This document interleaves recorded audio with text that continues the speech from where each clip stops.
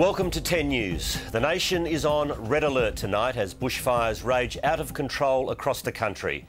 Tasmania, New South Wales, and Victoria are the focus as the firefighters battle to contain the blazes. Here, more than 400 units have been sent to a huge fire front in pine plantations in Western Victoria.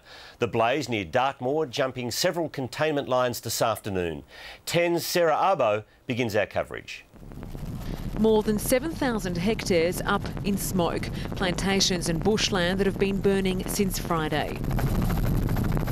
The blaze is active from its northern and southern points, firefighters battling the flames from both the ground and the air.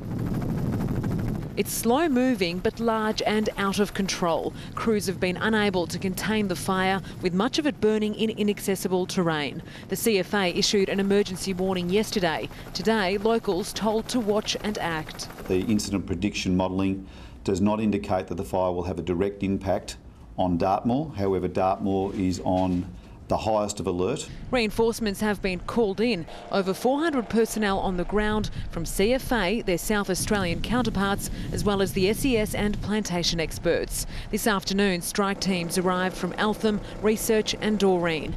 Their task to put out spot fires. Spot fires like the ones behind me have been popping up all over the plantation district. And if they're not contained now, they could burn for days, weeks, even months.